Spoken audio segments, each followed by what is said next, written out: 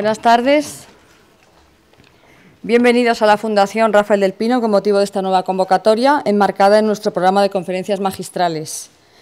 Hoy nos convoca un interesante debate promovido con motivo de la presentación del libro Acabad ya con esta crisis, cuyo autor es el profesor Krugman. Profesor, es una satisfacción para mí darle la bienvenida a la Fundación Rafael del Pino en nombre del patronato y de todos los que formamos parte de la Fundación. Gracias por aceptar estar hoy aquí con nosotros. Una vez más nos visita un economista de excepción. Ya son muchos los que hemos tenido la fortuna de presentar a lo largo de estos últimos años. En este caso, el profesor Krugman está acompañado de otros dos economistas excepcionales. Pedro Schwartz, presidente del Consejo Económico Social de la Comunidad de Madrid, y Manuel Conte, presidente del Consejo Editorial de Expansión y Actualidad Económica. Gracias a ambos por aceptar participar en un debate que estamos seguros no va a decepcionar. El debate lo moderará Vicente Montes, director adjunto de la Fundación.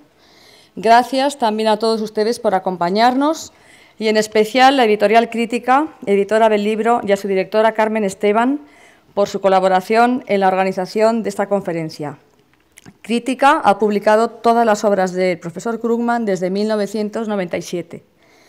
El profesor Krugman es un economista académico al que le preocupa la crisis y sus efectos sobre el conjunto de la economía.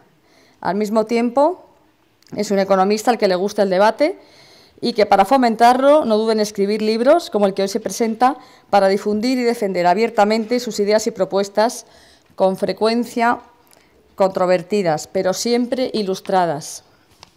Profesor Krugman, su presencia hoy entre nosotros ha suscitado una gran expectación.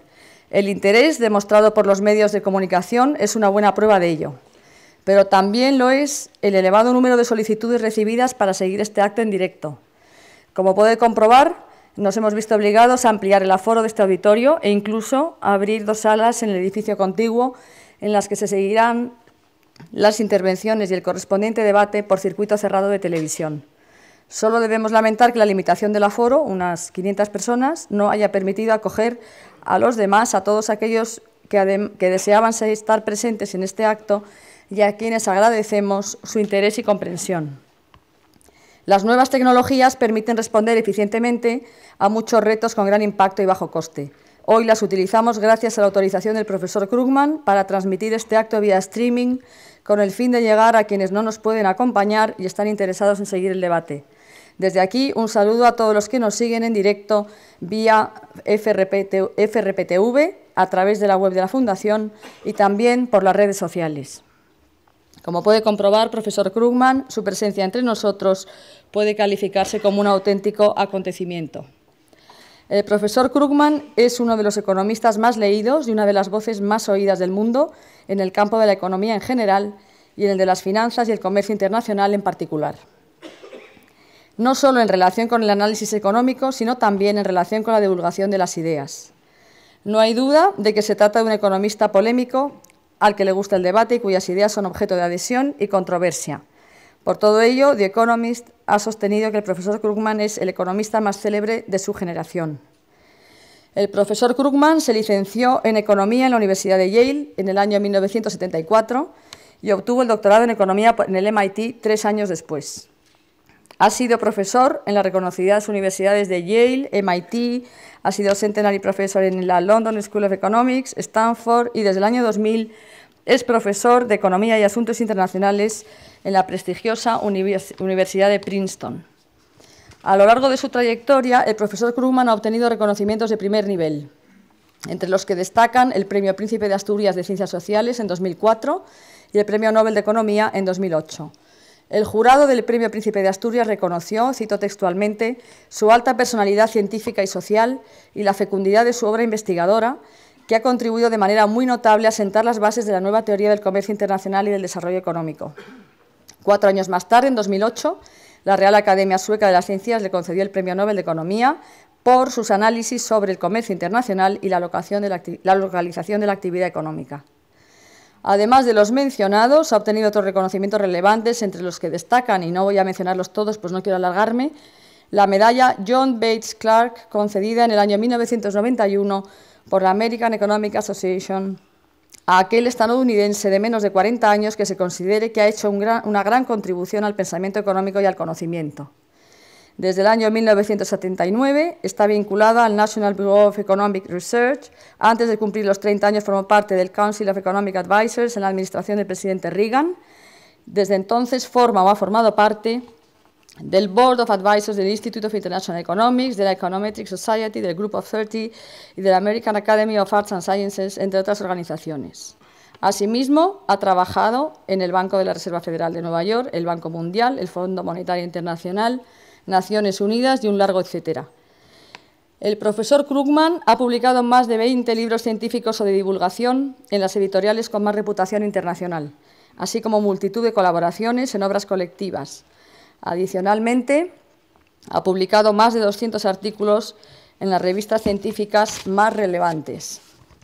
Complementariamente, ha desarrollado una intensa actividad divulgadora en publicaciones de la talla de Slate, Washington Monthly, Fortune y desde el año 2000 como colaborador independiente publica semanalmente una columna en The New York Times.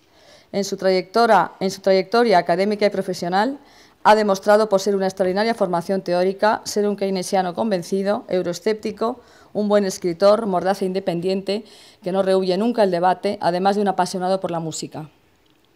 El profesor Krugman rompió con la ortodoxia cuando se mostró de acuerdo con las restricciones a las salidas de capital impuestas por Malasia en el año 1998 y sorprendió cuando destacó las ventajas de una inflación moderada en situaciones de exceso de deuda y del papel del gasto público para contrarrestar los perversos efectos de las recesiones económicas. Sus artículos criticando al presidente Bush por sus rebajas de impuestos a las personas con rentas muy elevadas o por los elevados gastos militares adquirieron particular notoriedad.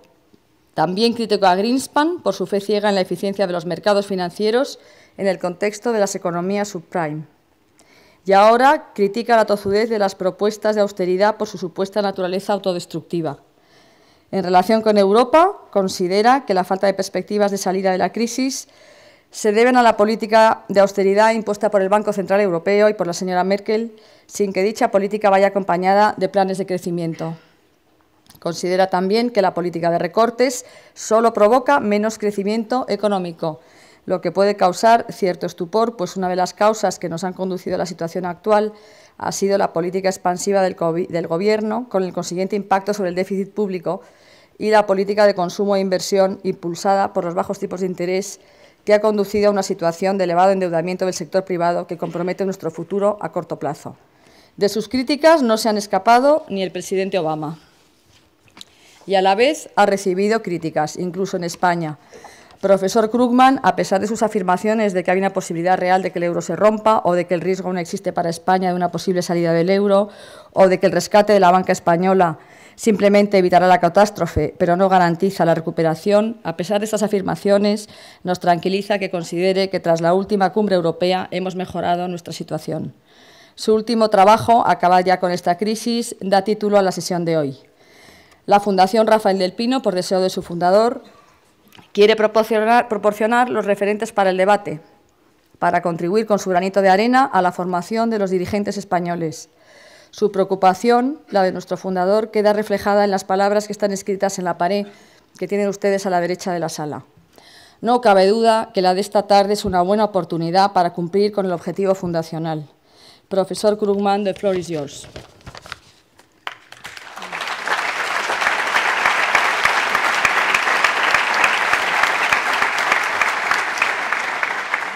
Well, th- thank you for, for the instruction. Thanks, everybody, for coming. Uh, this has been a remarkable, uh, uh, remarkably helpful time from, at the, the, the Rafael Del Pino Foundation. Uh, it's, uh, I have to say, it, I haven't had much uh, time to see anything except, but, except, except the foundation, but it's been a very good time to have many discussions while here.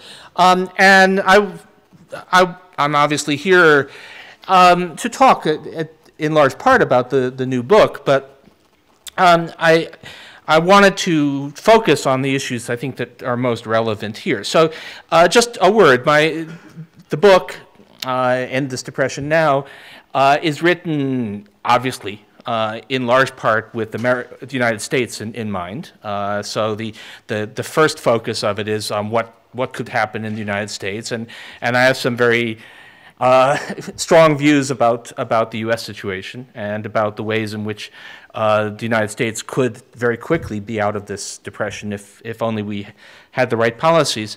Um, but of course, this is a, an economic crisis that is not just a U.S. crisis, and in fact, the, the epicenter has moved to Europe. Uh, I, I, sometimes say that we, we seem to be having a little bit of a competition uh, between the United States and Europe as to uh, who can do uh, worse in this crisis. And uh, I'm sorry to say that for the time being, uh, this side of the Atlantic, I think, is winning the competition, although give, give us time. Um, but the, um, and Europe is, in, in many ways, there are parallels to what's happened in the United States. Uh, but there are also some major differences, largely having to do with the fact that Europe is not a country, it is many countries, uh, but, but much of it shares one currency. And so there are special issues that arise from the problematic uh, creation of a single currency without a central government. Um, and obviously, Spain, if Europe is the epicenter of the crisis, Spain is really the epicenter of the European crisis. This is, this is the place where the fate of the euro will be decided. Uh, so I, I, thought I would try to talk about the, my understanding of the situation here, and, uh, and briefly, because we're going to devote most of this time to questions and discussion. Um, so let me just say a word first about Europe. Um, even if there were no problems about the euro, even if we did not have the problems of the national economies and the threat to, uh, uh, to Spain and the, the worries that the, the single currency might not be sustainable, we would still be talking about a very severe um, underperformance of the European economy. And just to the uh, Eurostat, the, the uh, excellent statistical agency, just came out with its latest uh, numbers. This is just a, a look at what unemployment rates look like uh, for the euro area and, uh, um, and, the, and the European Union more broadly. Um, and what you can see, of course, is that uh, there was a very severe, uh, very severe slump uh, beginning in, in uh, early 2008. We all know about that. but there was no real recovery, even at, at best. Uh, there was only a slight decline in unemployment, and now unemployment is rising again. And uh, Europe is almost certainly in recession.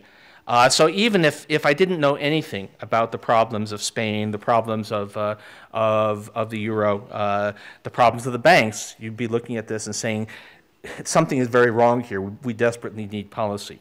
Uh, we, we need a new policy. This is not a successful economic story. And uh, um, it, actually, and, and it, at the moment, the United States looks better than that, although not good. So uh, on both sides of the Atlantic, we've had a, uh, it's not just that we had a severe economic crisis in 2008, but the fact that there has been no real recovery from that crisis, and at this point, in fact, uh, it appears to be uh, deteriorating again. But then, of course, on top of that, on top of that problem of the European economy sliding into recession, having, having really its highest unemployment since the creation of the euro, um, we also have uh, the severe problems of the individual countries within the Eurozone uh, with the whole European periphery uh, in deep trouble. Uh, varying from the really uh, very nearly hopeless situation of Greece to the uh, severe but one hopes uh, solvable problems uh, uh, here, and but but uh, but but very very difficult problems to solve. Um, and I came up. I wasn't actually going to use slides. I wasn't going to do this, but I realized after discussions over the past couple of days that that it might be helpful to just have a few schematic pictures uh, to, to illustrate what I think are the issues. Um, and um, by the way, that's partly an excuse because uh, these are, I, I, was not careful to make these beautiful. So these are, uh, these are some, uh, some quick things that I think will, I just hope will, will explain. So, so my, my view, my, the way I think you need to think about where we are right now in this very critical moment is that it's actually a problem in, uh, in three layers.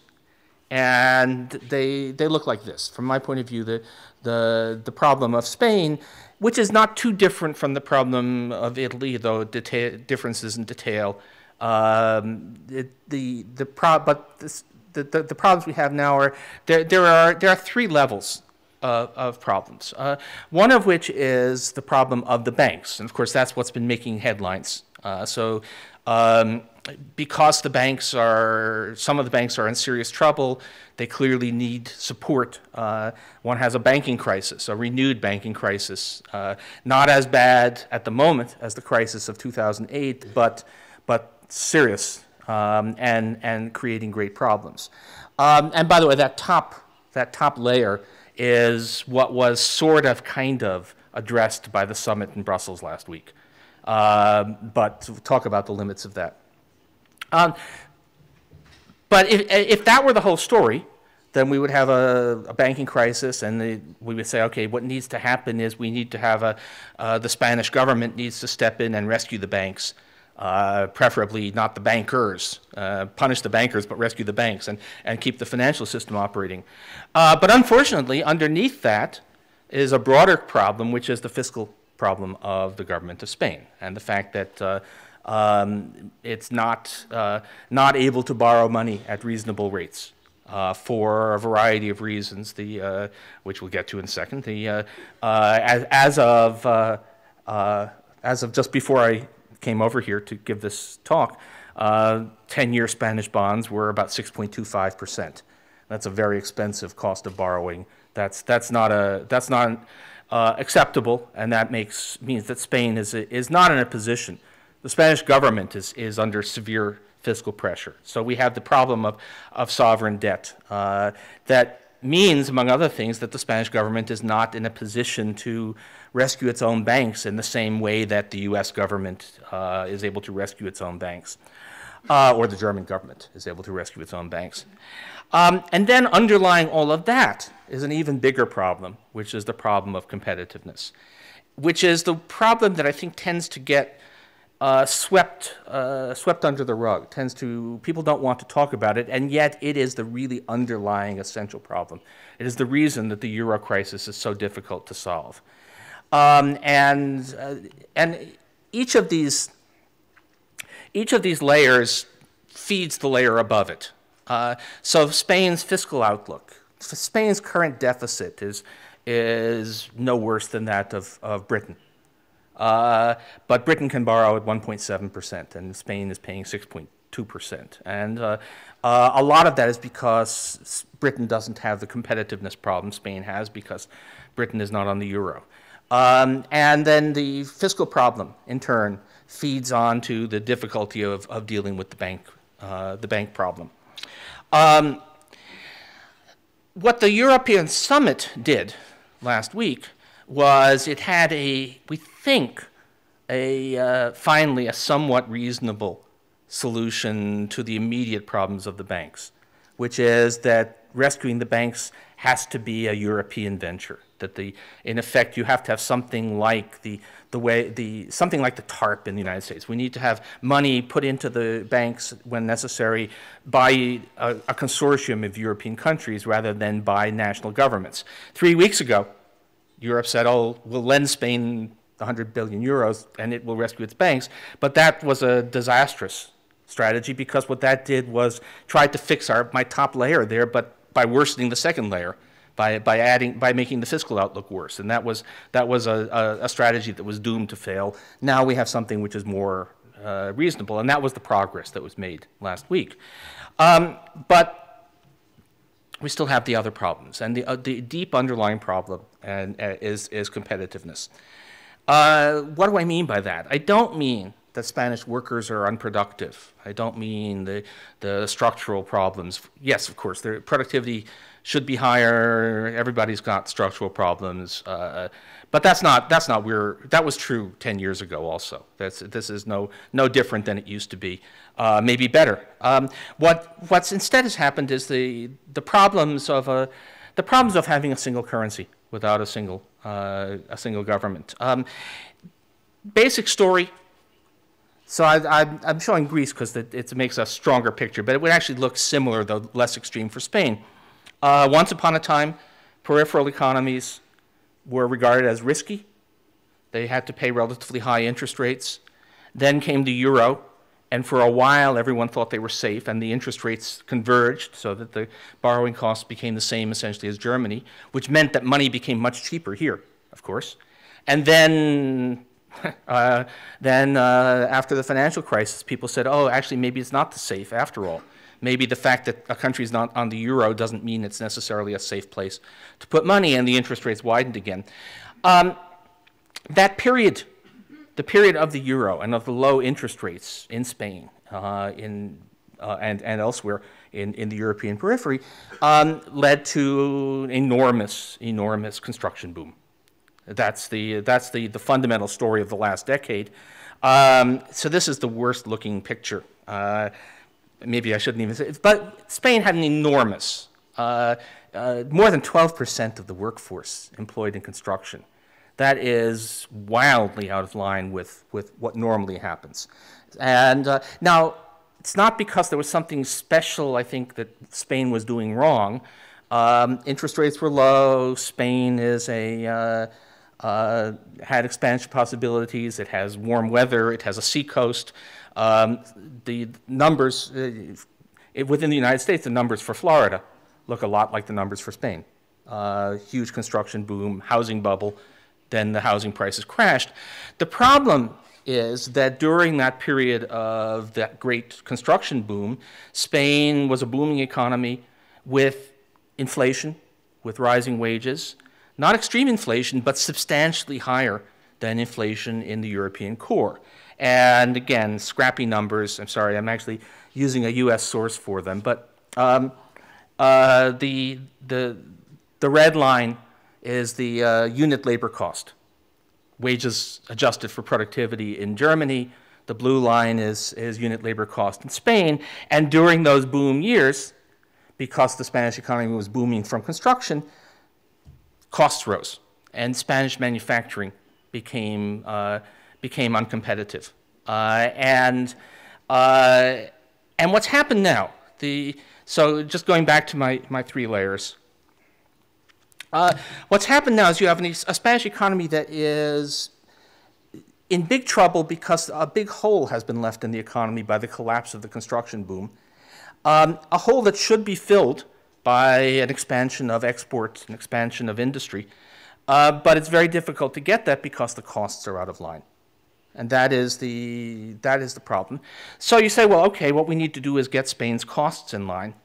Um, and the strategy the underlying strategy of the European, well, the strategy of Europe these past three years, basically, has been that we will get these things in line by having austerity programs and having wage restraint and structural reform.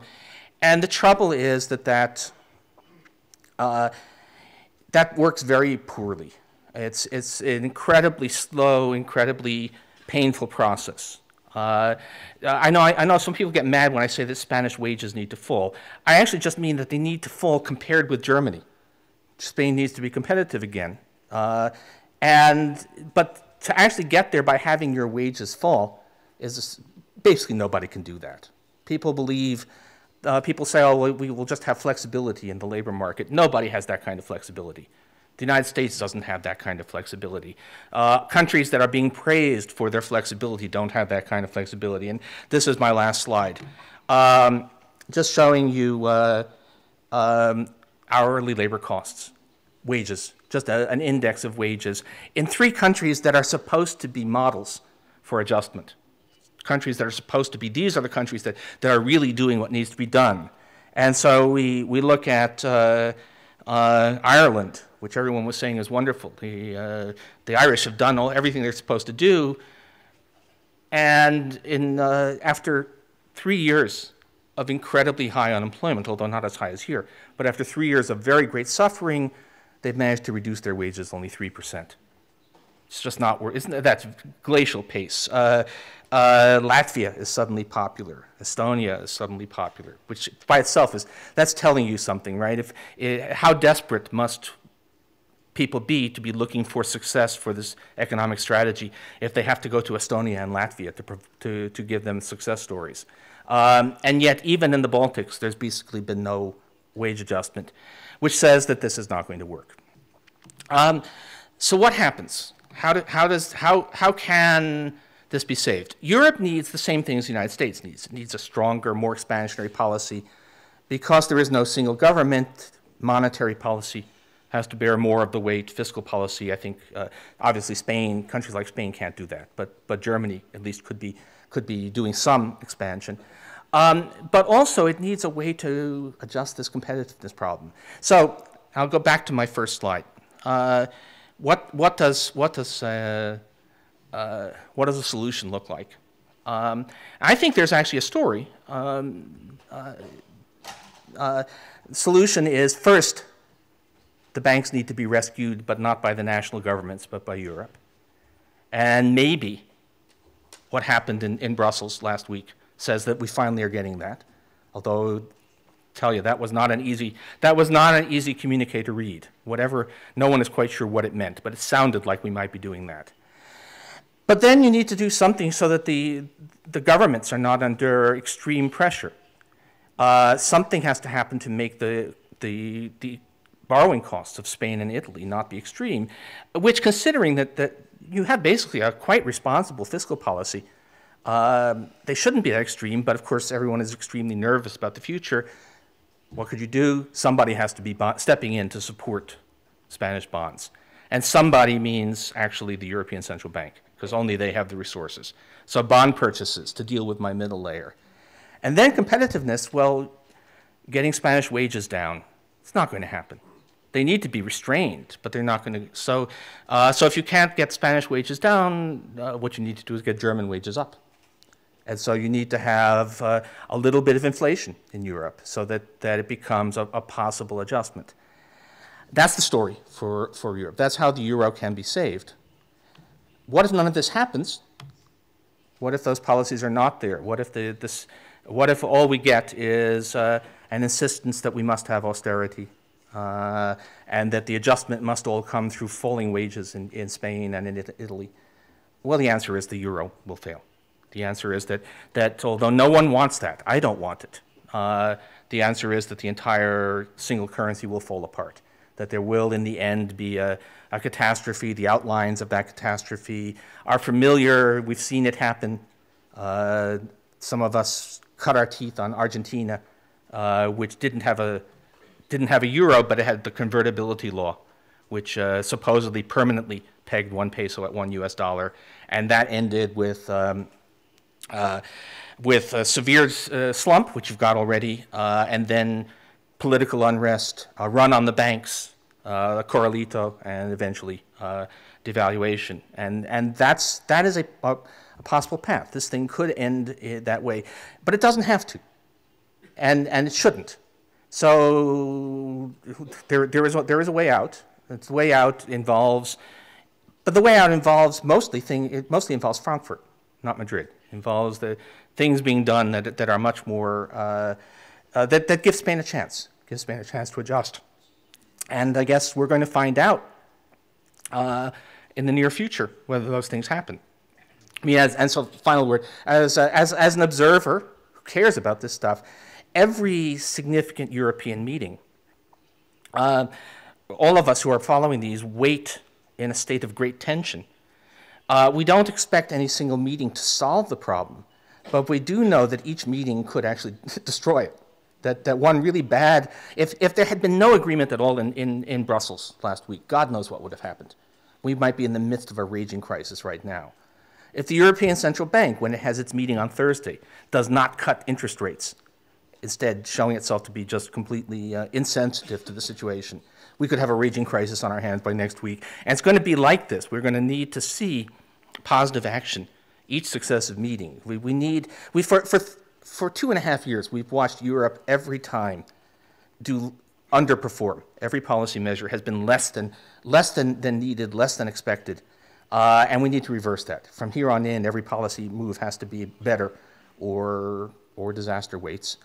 And I don't want that to happen. I don't think anyone should. We want, we want to see this succeed because Europe is, uh, uh, Europe is a beacon for the world, and we want to see, the, we want to see that European experiment continue to, to prosper.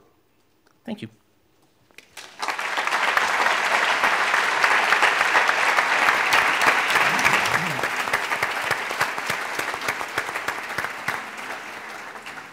Muy bien, pues muchas gracias, profesor Krugman. Sus comentarios son el preludio de un ah. sin duda intenso. ¿Sí?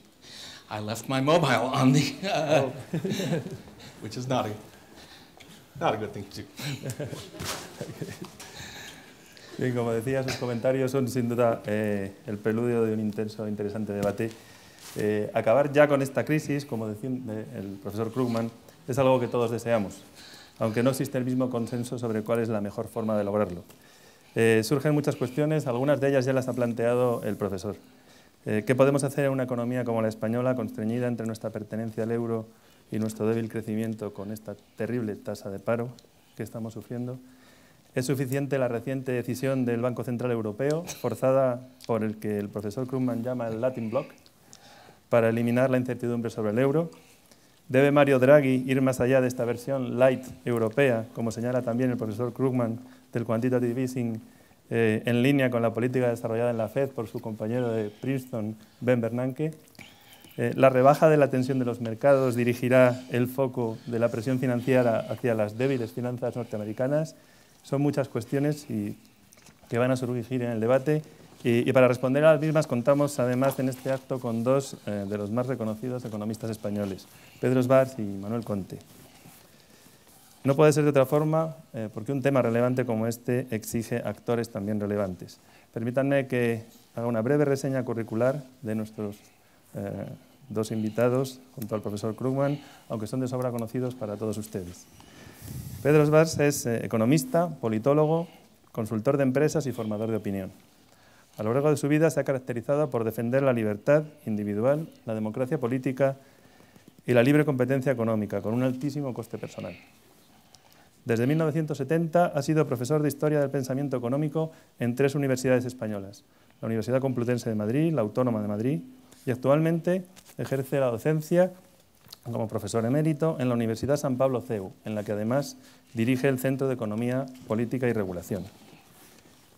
Sin embargo, eh, su vida ha estado muy ligada a la London School of Economics, en la que estudió ciencia política y obtuvo sus títulos de doctorado, primero con una tesis sobre el pensamiento de John Stuart Mill y de máster más adelante. Es fundador de numerosos think tanks, fundaciones y otras instituciones que no voy a enumerar, de sobras conocidas, cuya vocación es la defensa de la libertad. Escribe semanalmente en el periódico Expansión, publica sus opiniones en el diario ABC y también en Financial Times, y habla con frecuencia del escenario financiero y corporativo español eh, en la BBC. Actualmente preside el Consejo Económico y Social de la Comunidad Autónoma de Madrid. Por su prolífica carrera académica, política y empresarial, ha recibido numerosos galardones y reconocimientos, de los que destacaré solo tres. En 1990, la reina Isabel II le otorgó la condecoración de Honorary Officer of the British Empire.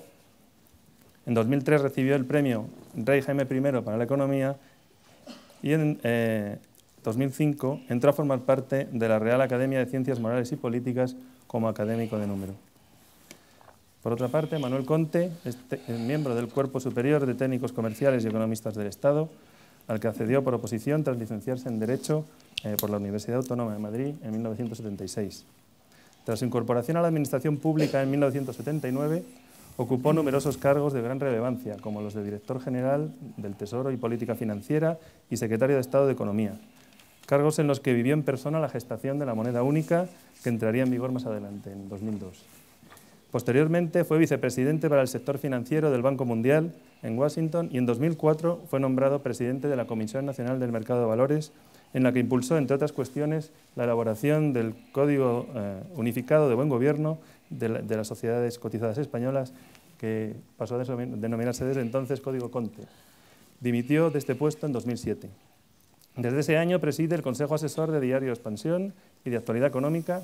En 2009 se incorporó al despacho internacional de abogados Bear Bird como off-counsel y es consejero independiente de la compañía Cerinox desde 2011.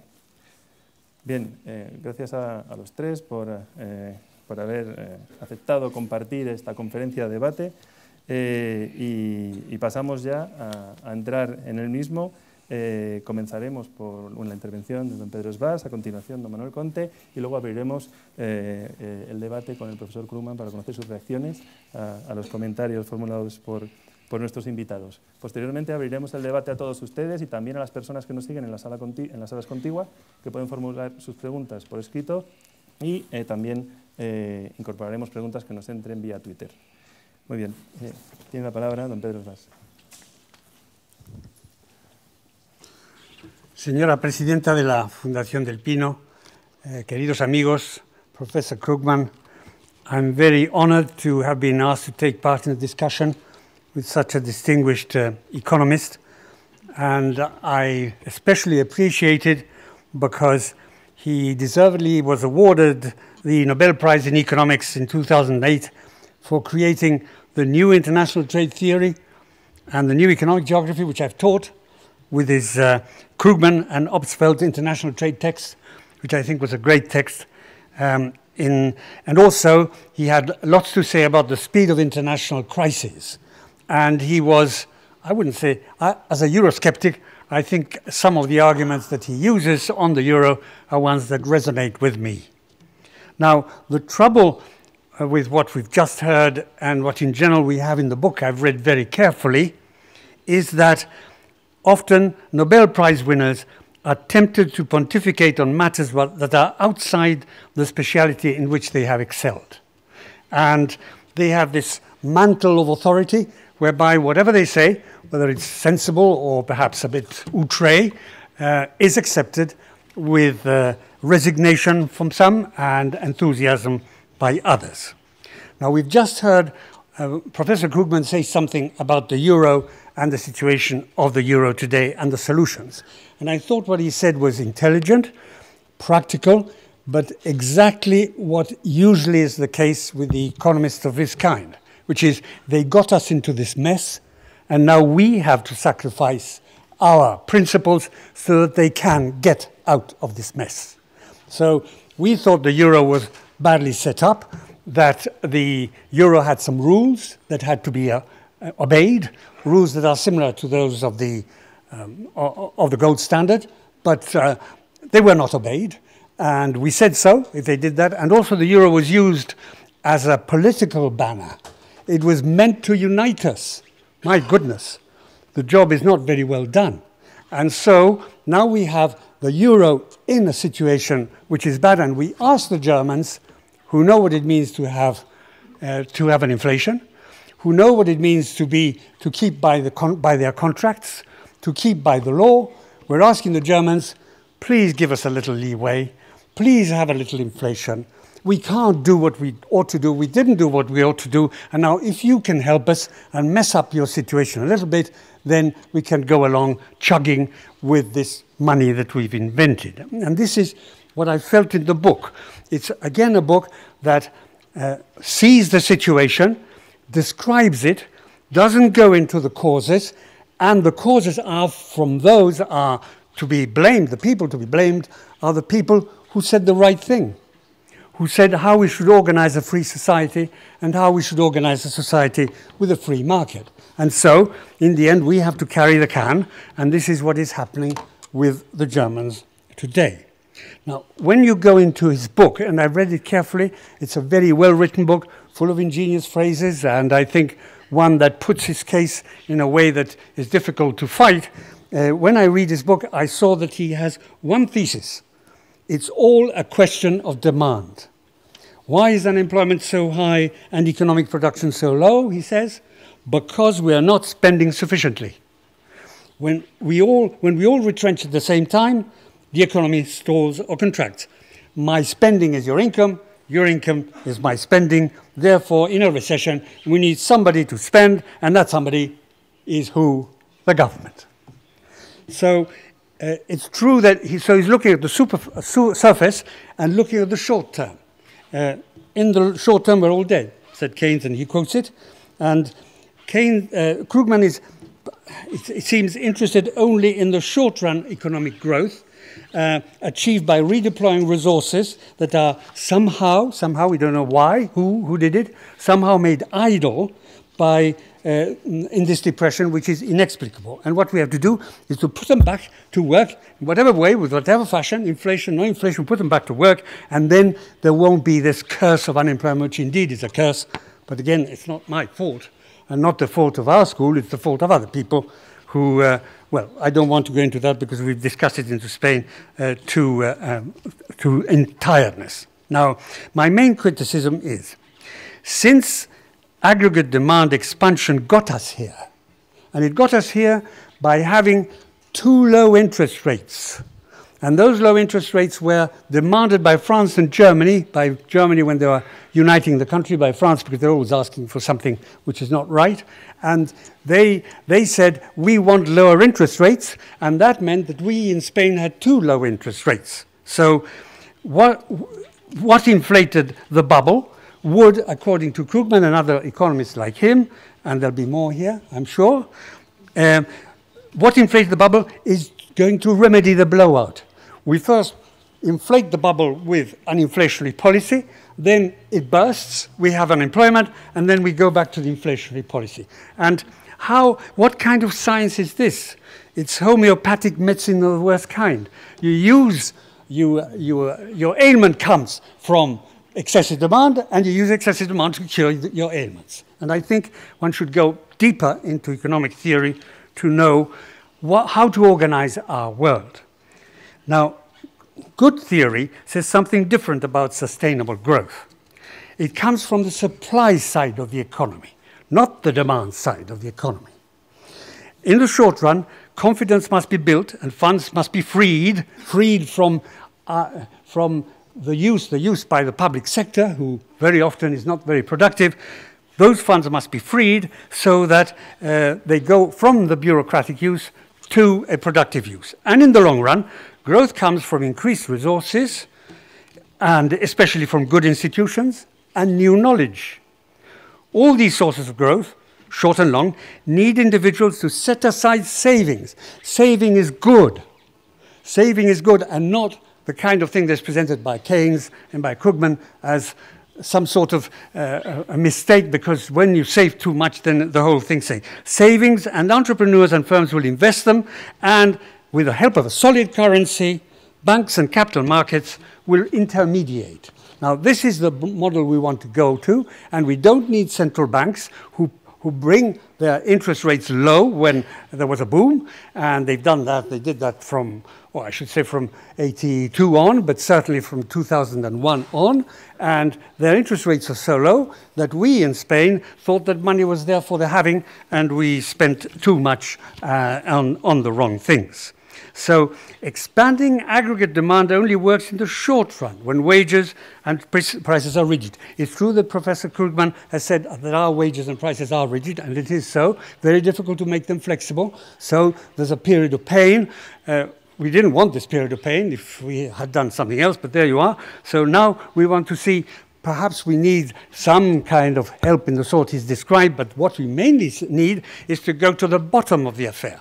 How to create a free society with a well functioning market where savings are not a mistake or a, or a sin, and where savings are passed on to people who invest them, and there's new knowledge and there's real growth. So, um, I was going to say something about uh, the Great Depression of 29, which is not, I think, well described in, that, in the book. But I want to go to uh, a number of cases because it's very well to put forward principles. And we love principles. It makes for good coffee talk shop, uh, shop and, and, uh, and uh, coffee shop talk. And we need, we, it's good, but we need some observations, we need some facts to see perhaps whether one principle is wrong and one principle is right. And I'll look at Japan, which is a country that Professor Krugman has studied in great detail. And, with, and I've read with interest what he had to say on Japan, even if I didn't agree on everything. Now, the post World War II miracle came to a halt in 1991 92, and I remember it well. There was a time when the, uh, the, the land of the Imperial Palace was worth more than the, whole, the land of the whole of New York because the bubble was so big. So in 1991-92, it just stopped. There was a fall in, in, in property prices. The uh, stock exchange fell, and and then what did Japan do? Well, what they did is they tried to have inflation. They couldn't do it for reasons that are technical, but they, what they did do is to have debt and public expenditure and public works, the whole gamut of Keynesian, of Keynesian uh, uh, solutions was used there. The result 20 years of no growth or very slow growth. uh, what, after running a 2.4% budget surplus in 91, 2.4 surplus, in 1996 it was minus a deficit of 4.4, 4.3. In 1998, a 10% deficit. And then the rate of national debt to GDP now is above 230% of GDP, 230% of GDP, more than twice uh, it is. And Japan is still not, not getting into the kind of growth that we expect from that very ingenious people. Uh, they carried about these structural reforms. They didn't face what the banks they had to do with the banks.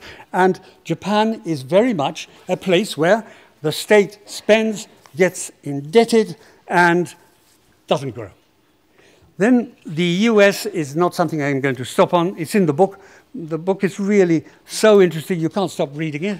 Uh, uh, it's good to read a book you don't agree with that keeps you awake at night, but this is very well written. And what, he's, what Professor Krugman says about the US, I needn't say much more than how is the year? I'll finish. How's the year? I, am going to be in the solitary man. Yeah. Uh, how, how's the US doing? Well, not very well. And then let's, to finish, this, speak about the story in Spain. On July the 4th, 2007, the Spanish government started giving out baby checks of 500 euros to every new mother. That was 1.2 billion expenditure. January 26, 2008, bang in the middle of the electoral campaign, by the way, Zapatero returned to all income taxpayers, even me, 400 euros at a cost of 5 billion euros. This sum was equivalent to one fourth of the budget surplus accumulated before. July the 2nd, 2008, President Zapatero launched a municipal investment fund, the Plan A for Spain, 11 billion. Then it became Sustainable Economy Plan, with another 9 billion added to it, including 2,250 euros for each young man of 20 or, or, or lady of 22 to 30 if they wanted to leave home and rent a flat. The total of this anti-crisis expenditure was 34 billion. What happened to the Spanish economy under Mr. Zapatero? I needn't go into it. So the, the question is, if you want to run a deficit, public finance is a problem. Uh, that's a discovery. Uh, we never spoke about public finance, did we? Now, we need to borrow, and the, and the lenders don't want to give it to us because they don't. So what we have to do is to have Germany uh, start helping us so that they get in a mess too. The better way to bring your treasury and welfare state in line, I think, is realistic finance, uh, ethical politics, and a policy that Professor Krugman might, uh, might criticize for being too conservative. Thank you very much.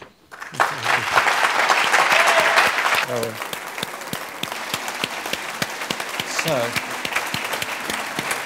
sequential and then. if you want, we can uh, respond now yeah. or later to both. Yeah, let, let me just say, uh, yeah. I just want to say. Perfect. Uh, I'm going to say some, some mild things. Uh, uh, I will say that it, it has been exceedingly disappointing how many people on one side of this debate have resorted to uh, um, attempts to uh, to pull credentials, to claim that, that people on my side of the debate don't have the, don't have the intellectual standing to weigh in on these issues. Uh, and rather than, to, you know, that's, that, this is not an appropriate way to argue. Who did Even that? You, you I know, didn't you do did that. This. You, did, you certainly did. I didn't. Uh, I said I use your book. I didn't. No, I didn't. Did. I didn't run you down. You, I'm very offended by this. Well, uh, I didn't run you down. Yes, you did, sir. No, sir. Um, no, sir. No, uh, but but the. Um, uh, the main thing I would say is that we, of the two views, that this is essentially a supply problem versus this is essentially a demand problem. I mean, in a way, nature has given us an excellent uh, experiment at, at, vast human cost, but we've just had an experiment. And there were, there were, and I do try to talk about this in the book, there were, there were really, uh, if you like, three predictions, three crucial predictions that, that differentiated these two views of what the nature of the problem was. Uh, one was what would happen to interest rates, um, where, and, and let's leave aside the solvency issues, which is, which is what's going on here. For countries where solvency has not been in, question, the question was would borrowing large scale borrowing on the part of the public sector in the face of a depressed economy compete with the private sector for funds and therefore lead interest rates to rise. And there were some very harsh debates about that in early 2009, with many people asserting with great confidence that those US budget deficits would lead to soaring interest rates. Obviously not, right? We actually have the, very close to the lowest interest rates in history. Um, there was the question what would large expansion of the monetary base do to inflation? And if you had a supply side view, you said, well, there's a, there's a certain amount of production and we're going to create more money, it's going to chase more goods, and it's going to lead to vast inflation and that has not happened. Um, and then there was the question what would happen with governments that, that, for whatever reason, did sharp cuts in spending? Would that be expansionary because it released resources to the private sector, or would it be contractionary? And unfortunately, Europe has given us some very clear evidence on, on all of that. So I think it's quite extraordinary. Uh, at this point, the, the, the, view, and I understand that a lot of people hold, hold uh, uh, Mr. Schwartz's view, but it's a view that now is being held in the teeth of overwhelming evidence that it's wrong. This has been as dramatically, uh, painfully, uh, a confirmation that a, that a broadly demand side Keynesian view of the world is appropriate, uh, as, as you could possibly have asked for. Uh, it's, it's, uh, everything else is just an expression of faith in, in a view that bears no resemblance to the world we have been living in these past four years. End of statement. Mm-hmm.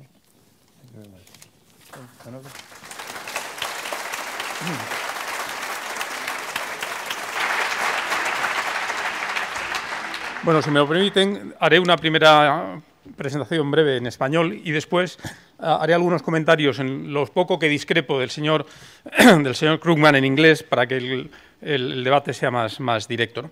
Eh, yo, yo, saco la conclusión opuesta a la de Pedro Schwartz. Yo creo que al señor Krugman habría que darle un segundo premio Nobel se le dio uno por las teorías de comercio internacional, quizá ahora hay que darle uno segundo por lo útil que lleva siendo todas sus uh, obras, y en particular este último libro de aplicación práctica del pensamiento keynesiano a situaciones uh, recesivas que él empezó ya a analizar, pues en el caso sobre todo de la crisis de Japón, en The Return of Depression Economics, y etcétera, etcétera. A mí me parece que el libro que eh, hoy eh, presentamos o sobre el que hoy debatimos es un libro ejemplar porque es profundo y al mismo tiempo fácil de entender. Eso es muy difícil de conseguir y yo creo que Paul Krugman es de los pocos economistas que, que logra transmitir ideas profundas a veces demasiado profundas para algunos, eh, y, sin embargo que sean, que sean eh, fácilmente comprensivas. Para ello utiliza eh, la técnica de las metáforas. Una que le gusta y que vuelve a repetir en el libro y que a mí me encanta es la famosa metáfora de la cooperativa de babysitting en Capitol Hill, eh, donde hace una parábola de una depresión keynesiana derivada de que todos los usuarios de esa cooperativa querían quedarse en su casa para ahorrar créditos para en el día de mañana salir de fiesta y precisamente porque todos querían mmm, ganar cupones en esa cooperativa, pues al final ninguno podía. Es una parábola magnífica de esa, esa, depresión que describió Keynes y que ahora, primero en Japón y luego en el mundo y especialmente en, Europa, pues estamos viviendo. Yo creo que también hay otra idea que a mi juicio es, es eh, enormemente valiosa y que repite en varios pasajes del libro, que es la visión de la economía como un, una cuestión moral economics as a morality play. Y, lo vemos muchas veces porque, a mi juicio, eh, muchas veces en las críticas conservadoras al pensamiento keynesiano y a su versión moderna en Krugman, en definitiva, lo que eh, son es un trasunto de juicios de valor morales que están camuflados como proposiciones económicas, pero sobre los que se esconde en realidad un juicio de, volar, moral eh, normalmente conservador que rechaza ciertas eh, proposiciones. Por ejemplo, yo creo que Krugman, con acierto, insiste en este libro en lo que él llama uh, the, the, Big Delusion, que es la idea de que los problemas que hemos vivido en el euro eh, han sido un problema de excesos fiscales cosa que él acepta, que ha podido ser quizá el caso en Grecia, pero no el caso en otros países y en particular eh, en España. Y por eso él critica esa idea de la helenización de la crisis de, del euro como si todos estuviéramos eh, sufriendo el mismo síndrome que, ha vivido Grecia. Yo creo que en el libro hay muchas otras cosas encomiables. La exposición que hace de la teoría de, Minsky, el post-keynesiano, los momentos de, Minsky, hace una eh, frase que, que, cita divertida, dice que parece que el nuevo pensamiento económico consiste en leer viejos libros y precisamente porque eh, Keynes por un lado y luego mucho más tarde Jaime Minsky pues ya eh, ilustró estos problemas que vivimos en, una en, un problema de deflación por exceso de deudas, debt deflation, como él explica con claridad. Y estamos en una situación que él predica de la economía americana, pero que yo creo que es especialmente aplicable a la Unión Europea, que es los, deudores no tienen dinero para gastar y los acreedores no se lo quieren gastar. ¿no? Debtors can't spend and creditors won't spend. Eh, yo creo que ilustra también muy bien las eh, paradojas eh, eh, que caracterizan una economía en donde, eh, como él eh, dice, tu gasto es mi renta, your spending is my income. Y entonces eso se traduce en una paradoja que yo creo que el profesor Schwartz no comparte, pero que yo creo que es muy cierta, que es la paradoja del ahorro. en momentos depresivos, ahorrar eh, salvo en aquellos países que tienen un déficit de balanza de pagos muy grande, como es el caso de España o Grecia o Portugal, eh, cuando la economía globalmente está equilibrada, ahorrar eh, es un vicio en vez de una virtud. Y, yo creo que esa es una idea eh, keynesiana, eh, maltusiana, que, fue verdaderamente novedosa para eso hay que tener una visión macroeconómica de la economía como un sistema cerrado, que a veces el que mira uh, la realidad con unas uh, gafas un poco limitadas de equilibrio parcial conservadoras, pues no, no percibe.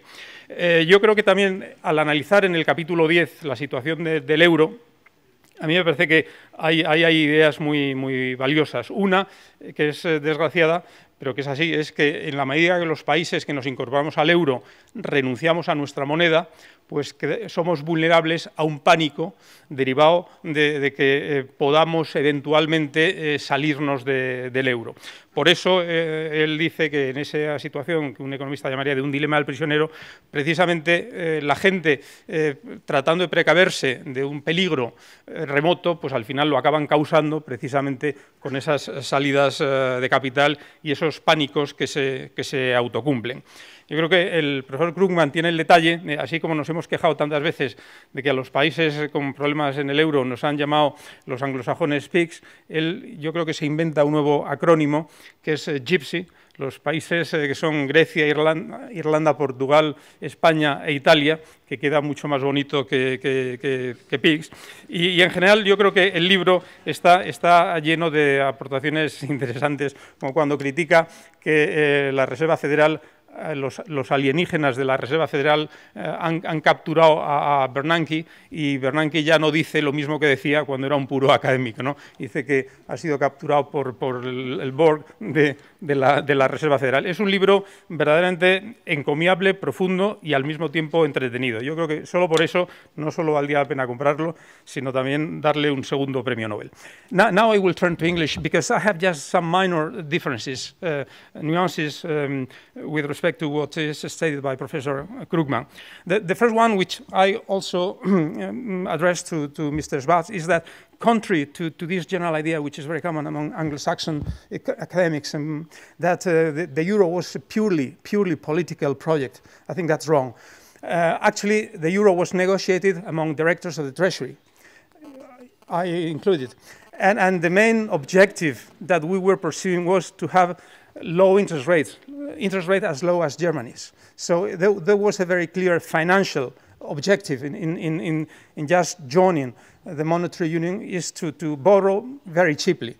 Unfortunately, and, that was a curse, and, and as Professor Krugman explains, we, we ended up with an euro bubble. And, and, and to that extent, I, I, don't think the problem was with, with uh, interest rates in the world being, being, being too low, which probably added to, to our problems. But the fact was that we in Spain were not ready to, to such a low level of interest rates, which was the automatic result of joining the, the euro. And, and, and to that extent, our real estate bubble was the consequence of, of entering the monetary union, as, as Professor Krugman rightly states.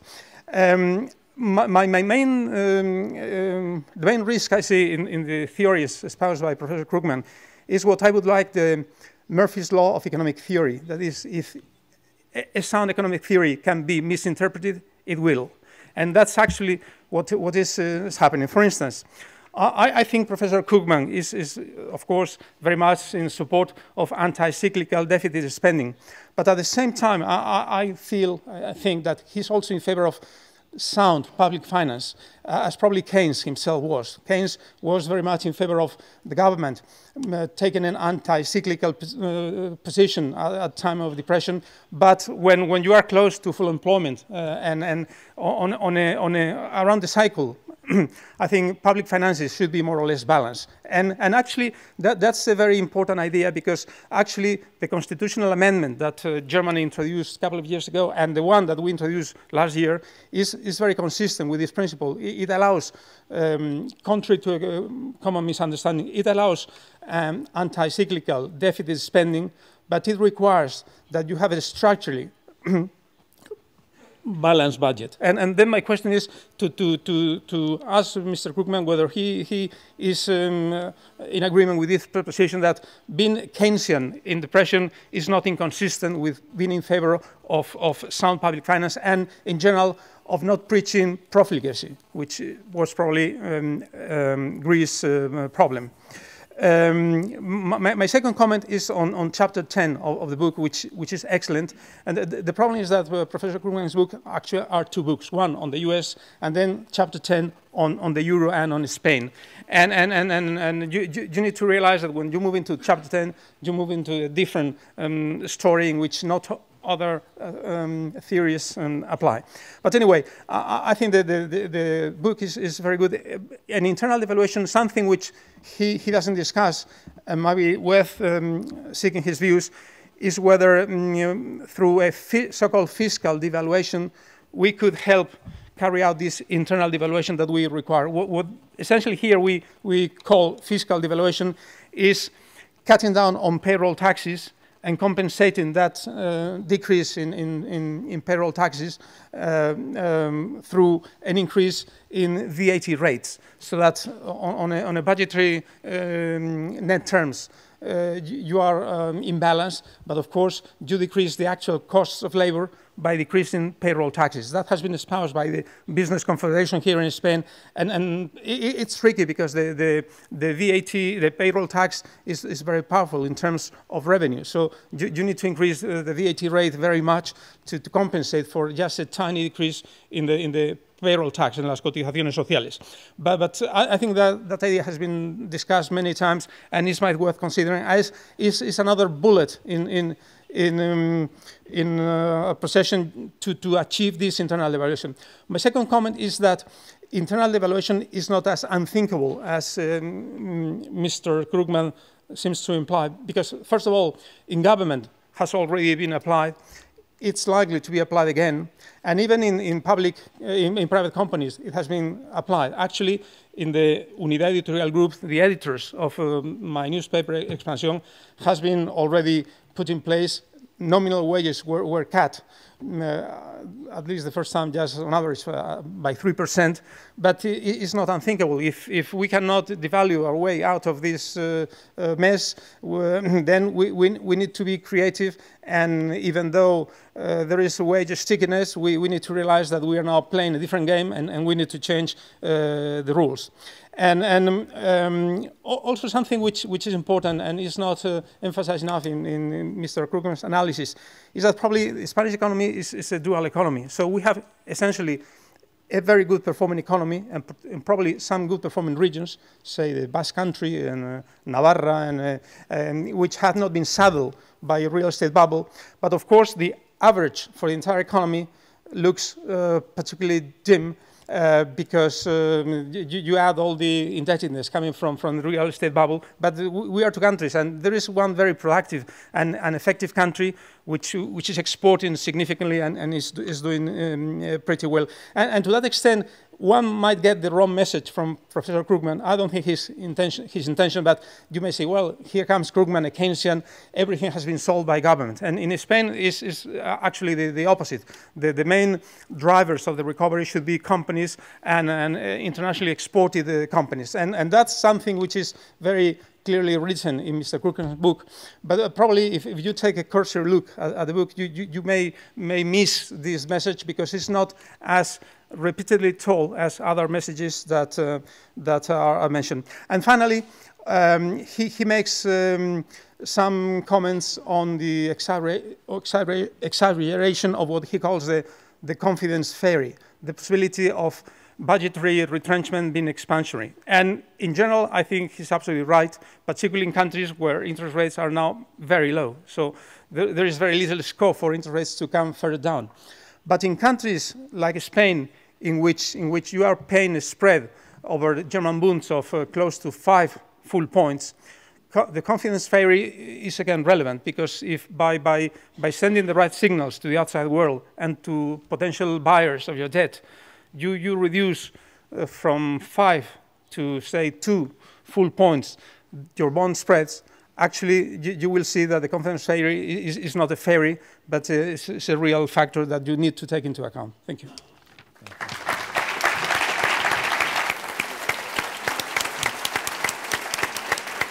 gracias, Manuel. Some comments, yeah, um, yeah. There, there's, there's so much one could talk about, but um, mm -hmm about the origins of the euro. I, I think it's, it, it, I do simplify, I think, in the book. The, uh, uh, there, was a, there was a political project in Brussels, but it was also a project by people who were very, uh, who believed that, that by having uh, credibility on inflation, that you could get low interest rates. I mean, they, that, it's, a, it's an old joke. It's a 20-year-old joke among, among my friends that, that the euro uh, was actually a, a plot by by Italian uh, officials to have German central bankers. So there was a there was a real sense in which that was part of the story also. Uh, so fair enough. Um,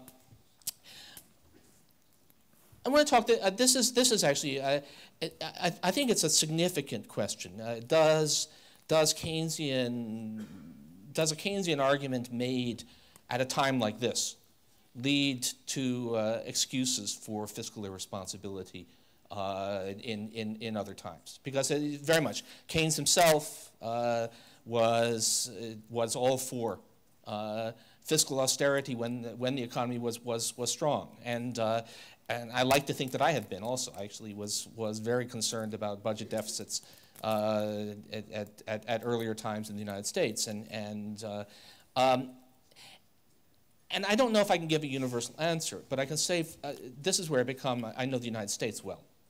And in, in, the, in the case of the United States, although uh, we certainly have had our share of fiscal irresponsibility, we wasted, we wasted the last decade. Uh, um, at a time when the economy was strong, we should have been paying down debt, and instead we, we, we did not. Uh, that had nothing to do with Keynesian logic. Uh, our, uh, if we have a bias towards fiscal irresponsibility, it is coming instead from, a, from an ideological war. Uh, the, uh, in, in, the United States, the, the, the, story has been that, that um, uh, one, one party has adopted a strategy of cutting taxes um, uh, under all circumstances in an attempt to starve the beast. the, by, by creating deficits through tax cuts to then force cuts in, in the welfare state. And because it turns out that people actually like the welfare state, uh, uh, those cuts tend to not come or not come on a sufficient scale. So we do have a structural bias towards deficits, but it's not coming. It's not, it's not the fault of John Maynard Keynes, and it's not the fault of, of, of me. Uh, it's, it's the fault of, of our political division. So, um, yes, I mean, you, are right. I mean, no, no. Uh, uh, no, every, every, every good idea can be turned to, uh, uh, to, to, uh, to evil, but I, I actually think that has not been our problem. So uh, uh, on behalf of John Maynard Keynes, I'd like to plead innocent on this particular charge. I have one uh, short remark, two remarks. One is about public choice that is the economic analysis of politics. Uh, we've observed time and time again that in good times, governments don't retrench and don't repay their debt. That is not because they're evil or because there's something wrong in Keynes's theory.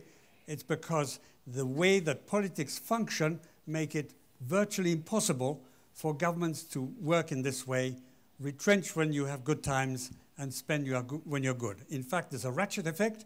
You spend more when things are bad, and then you don't go back again. And this has been studied by that part of economic theory which is called public choice.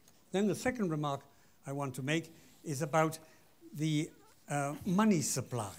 Now, if I, I've looked at the figures for money supply, and it's not the fact, not the case, that money has been unduly expanded. In fact, as Professor Krugman says, it's pretty difficult to increase the amount of money when your rate of interest is very near zero. So uh, it's not the case that we've had too much money and that this expansion of money should have gone into inflation. There was a time when there was too much money, which is in the from 201 to 207, uh, and that's when we got asset inflation.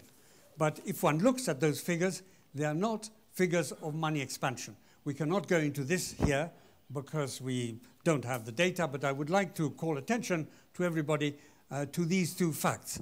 Public choice about how really politics function and money supply is not as easy to expand as many people have understood.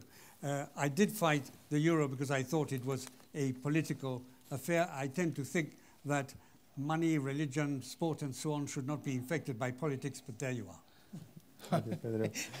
not, not one of those can possibly be insulated from politics. Certainly not sport. Uh, well, uh, you, you, haven't been here today. that's right. I've been. Uh, I can see that actually. Uh, by the way, the, the best I, I, want to. I'm going to give someone else credit. The best remark I've heard to explain the problem we've had was actually um, uh, uh, Ryan Avent of the Economist uh, said that that during the, the Euro, Euro, Euro 2012 during during the game between Germany and Greece, Germany actually had possession of the ball uh, I believe 60, 66% of the time. And the Germans want to know why the Greeks couldn't do that too. Uh, that's that's your, your fundamental problem. The Germans think that everyone should be running a trade surplus. And, uh, um, the, and, and, and by the way, I, I, I appreciate, I think the public choice, uh, you do need to think about the political economy very much. Uh, but I thought we've just had a rather dramatic refutation of the notion that fiscal stimulus leads to a permanent increase in spending. Uh, certainly in the United States, when, when, the, when the original Obama, the original inadequate Obama, uh, Obama Recovery Act was proposed, there were many people wisely saying, oh, well, that spending will never go away. None of it remained. We had a moderate program of, of infrastructure spending, has not been renewed. We had moderate aid to state and local governments, has expired. We even, we've even had a withdrawal of extended unemployment benefits despite the fact that we continue to have a record number of long-term unemployed. So there's been no hint at all of these things turning into permanent government programs. On, on the contrary, the, the actual way that the political dynamics worked was that the, the, uh, the stimulus was withdrawn much, much too soon. So maybe that's an exceptional uh, story, but, but certainly this time around, the, the wisdom about what always happens when the government increases spending turned out to be 100% wrong. But government is increasing in size, uh. Only, all, uh, From well, from the middle of the, of the 20th century. Yeah, that's, uh, right. we've taken on some new roles and... Uh, some new roles. And, and, the, uh, and the U.S. government, actually most governments, but the U.S. government is, is uh, as people say, it's an insurance company for old people that also has an army. Um, and, because we, uh, and because we have more old people and because healthcare becomes more expensive, the government has grown. But that's a, that's a very different kind of, of dynamic.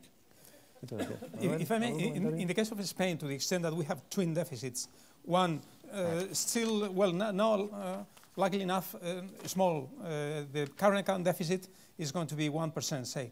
And, and we are running still a huge uh, budget deficit. In, in the case of Spain, there is a strong case for budget austerity, which, which does not apply elsewhere. And, and, and what I see is, is the risk by, that by reading your book and, and your plea for expansionary fiscal policy in, in other parts of the world, people might get the wrong message here that here, and, probably that was a mistake of President Zapatero, that he, he took anti-cyclical action when we didn't have any, any room of maneuver.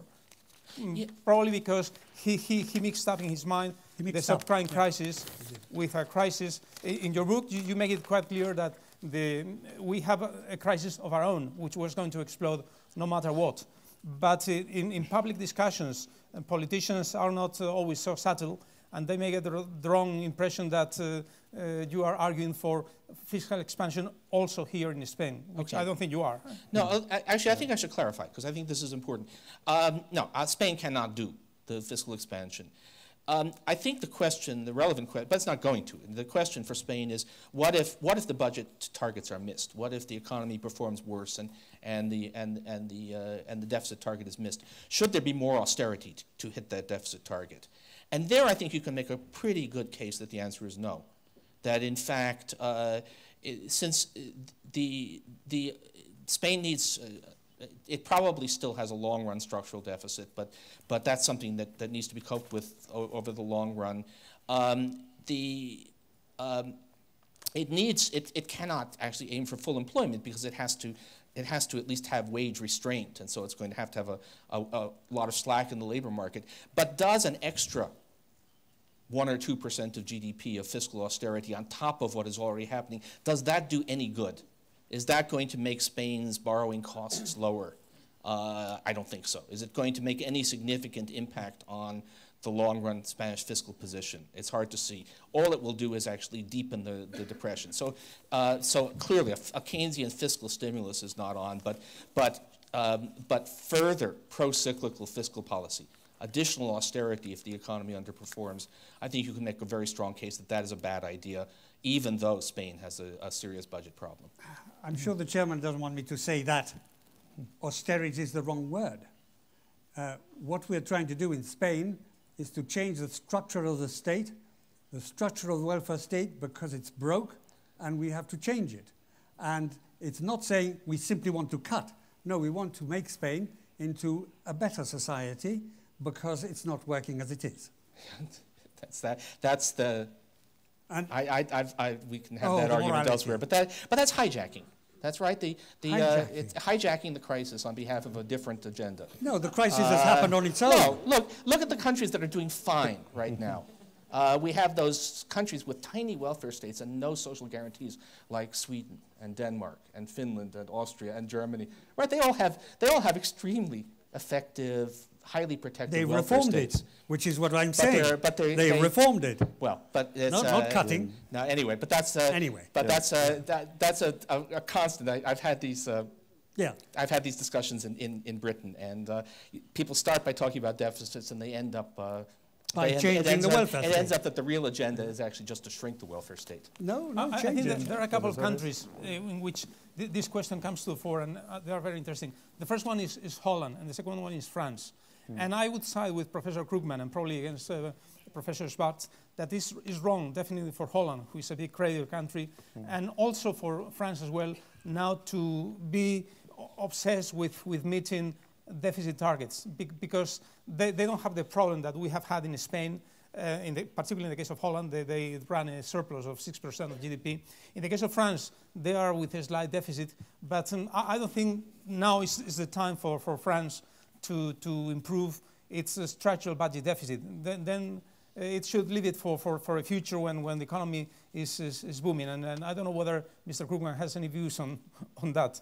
Uh, yeah, I, I'm, I'm, I haven't done enough homework on France, but, uh, but my, my initial reaction is that what we're, what we're seeing in, in the press reports today, which is that the budget's going to fall short, and so Hollande has to find further cuts.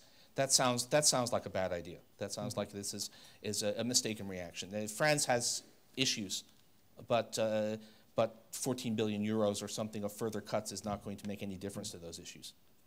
Bien, el tiempo es escaso y el interés enorme. Tenemos una verdadera avalancha de preguntas que vienen vía Twitter de las salas contiguas y, y creo que es el momento boy. eh, de abrir eh, el debate a la sala. Comenzando por Thanks, uh, Professor Krugman, for your book, and thanks for your fight against the, the wrong ideas. Uh, I, I have, if, if you look your, your chart about the unit level cost in, in Spain, Yeah. and you read your book about international trade, you, you expect that the, the export of goods in Spain ah, had worse uh, behavioral than in Germany, no? If you estimate from the World Economic Outlook and the, the Spanish exports and the German sport, the, the Spanish sport growth 50% uh, uh, more since 1919 uh, than German. No? If you look only from 2008, the behavioral is even better. We have now a surplus in the in the trade balance with the, the partners of the eurozone. So, no, what is no, what is wrong? Your book, your uh, chart, or your ideas, and after other other debt that, that I have, no, in a debt deflation, as Irving Fisher say, we had to reflate in the debt. But we, we have Germans inside the Eurozone, so it's very difficult to reflate the debt with, with inflation. So in this situation, you had to ask uh, a bail-in or a bailout. And the, the cost and benefit analysis is the complicated situation is you are in the euro and uh, you have a, a, very little maneuver to, to, to margin and and you have a, a, problem of the globalization of the financial market. You you uh, you do a bail-in and you provoke a run in the in the financial market. So, uh, what is your opinion about this question? No? Okay. Uh, wow, it's too much. Um, we will lose the audience, but I want to say the, the Spanish export story is is a is an important debate, and I actually spent quite a lot of time uh, working on it before coming here, and then and then no one until now has asked me about it. And if I and if I start to answer, we'll go on for an hour. So, uh, uh, but it is true. Spa- it, one thing you might have expected to see. Uh, I mean, we do see Spain move into massive current account deficit, but we don't see Spain. We don't see Spain losing export market share. Uh, instead, it's coming on the import side. And my understanding of what's probably going on is that Spain we have an overlay of underlying structural change. Spain is becoming a more open economy all through this process.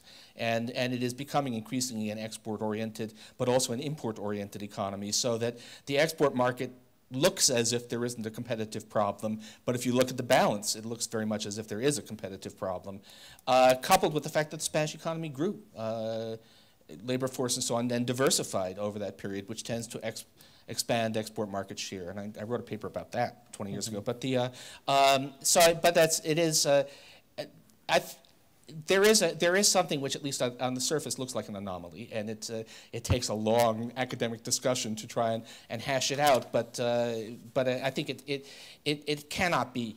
Uh, the, the, every other piece of evidence points to a, a, massive loss of competitiveness. So we have to ask why, why does, not not whether that's true, but why does the export number look odd in that context? Uh, I'm not sure I can answer the rest of that. I think we should let some other questions come in. But uh, yeah, I mean, um, yeah, it's uh, being the professor here. Good question, and it's, uh, it's, it's, worth a, it's worth a lot of discussion, but not, not tonight, not here. Sí, eso, eso, sí, les ruego por favor que se presenten eh, al formular sus eh, preguntas y que por favor sean lo más breves posibles porque tenemos que aprovechar el privilegio de tener a nuestros invitados aquí. Tenemos una segunda palabra aquí, Pedir. Uh, hello, hello, my name is Javier. I'm, I, I'm teaching in Universidad Juan Carlos here in Madrid.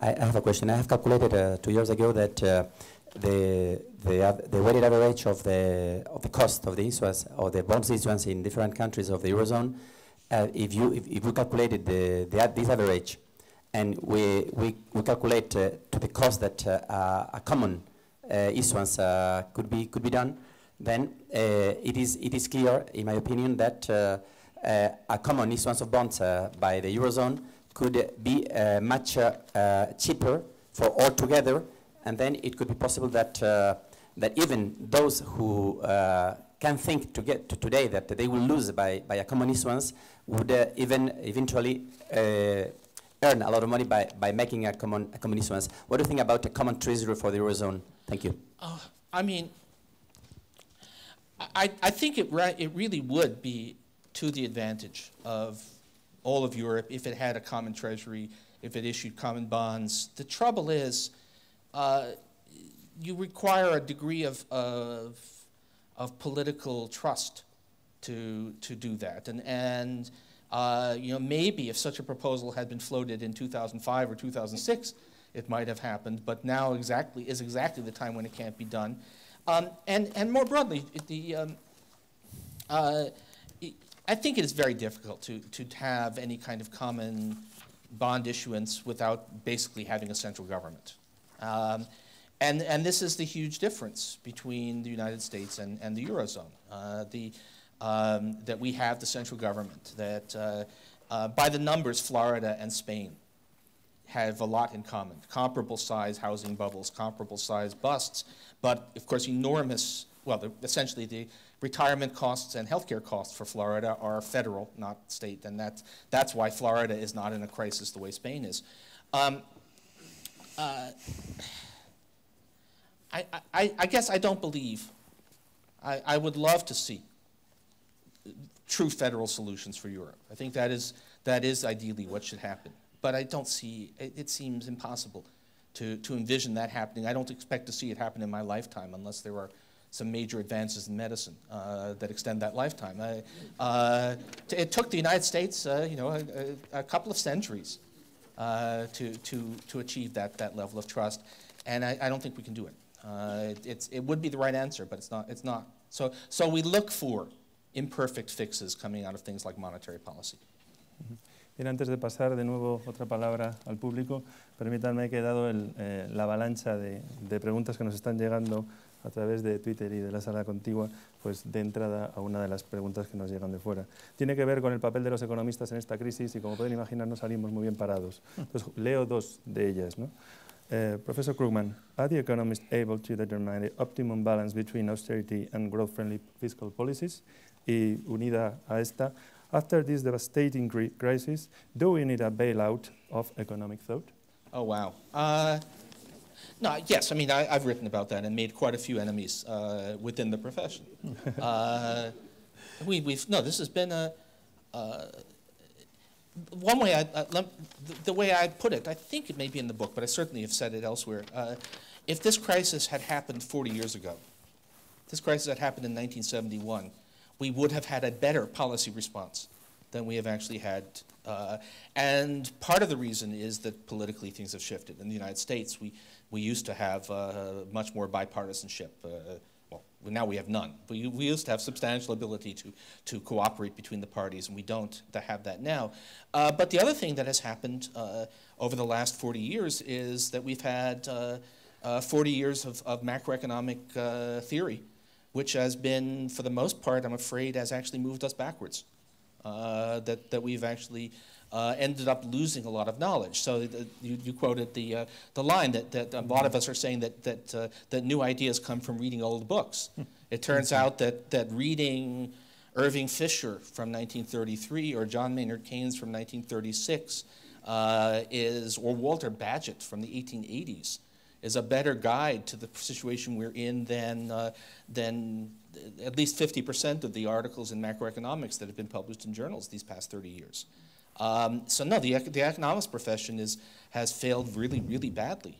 Uh, and, uh, and should you trust economists? Uh, well, you should trust me, but aside from that, uh, uh, but no, I mean, on, honestly, no, it, it's, it's been terrible. It's been I'm a disaster. and, and and the, the degree of dissension is, is, is an important part of our problem right now. Tenemos una pregunta aquí y luego vamos.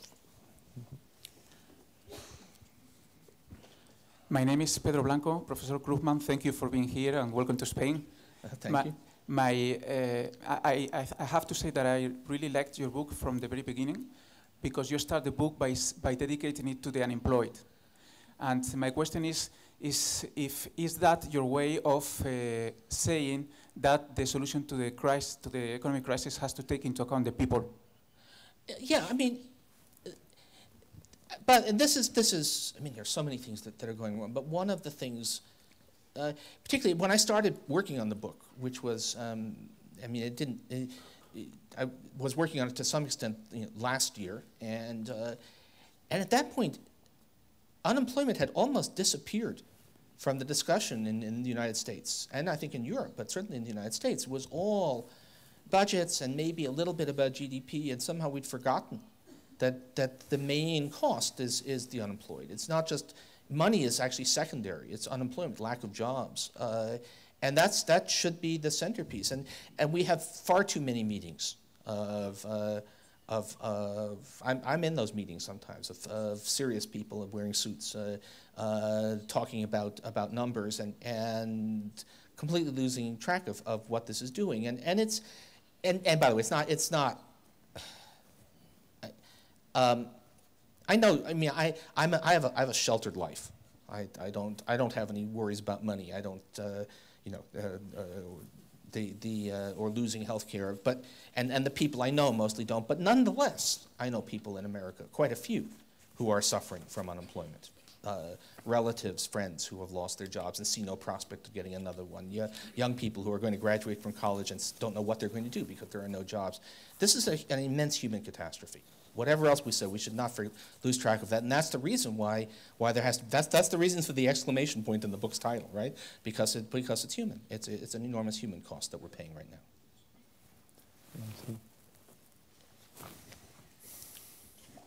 Buenas tardes, soy Carlos de Lama. Tengo dos preguntas, uno para el profesor Schwartz y otro para el profesor Krugman. Si la salida es por la vía de la oferta, ¿significa eso que tendríamos que tener una salida microeconómica, es decir, que cada agente social, cada empresa, cada ama de casa tiene que resolver su propia crisis recortando costes y siendo eficiente en lo que hace. Y por tanto el gobierno tiene que limitarse a sacar de la crisis su negocio, es decir, al Estado, de forma que sus servicios sean eficientes y que sus eh, finanzas estén saneadas. Al profesor Kruman, eh, si miramos y sumamos el déficit de los Estados Unidos con la masa monetaria en circulación y la deuda derivada, eso suma 788 billones europeos, millones de millones de dólares. Es el 518% del PIB. ¿No habría que empezar a pensar en el problema del dólar, irnos olvidando del euro? You are in Europe, so, of course. uh, yeah. Uh, so, uh,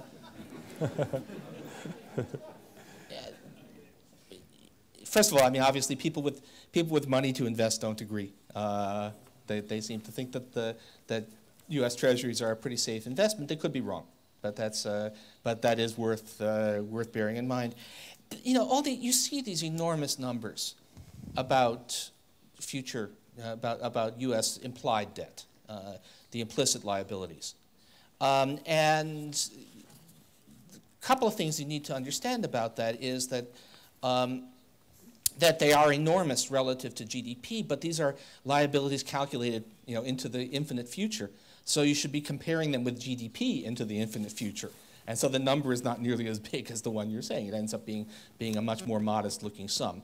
Um, the other thing is that the US budget deficit projections are dominated by the assumption that our incredibly expensive healthcare system will continue to grow even more expensive. Everything you see in those, those projections about US debt is driven by the assumption that the cost of Medicare will continue to rise 2% faster than GDP, basically forever. And maybe that will happen, although actually it can't happen because we'll run out of money. But maybe we'll actually manage to uh, reform. And if we could uh, if we could reduce U.S. healthcare costs to, uh, to uh, the European average healthcare cost, uh, suddenly the U.S. would have no deficit problems at all. Uh, that's not going to happen overnight, but, uh, but you know, I, I always say the U.S. does not have a deficit problem. The U.S. has a healthcare problem. And that's a very different story. And, uh, and you might say, in that case, why don't you favor healthcare reform? And the answer is, I do. And I've spent a lot of time pushing for that, and we'll continue to do so. Mm -hmm. Sí. La pregunta eh, tiene interés porque distingue entre lo que hacen los individuos y lo que hace el Estado.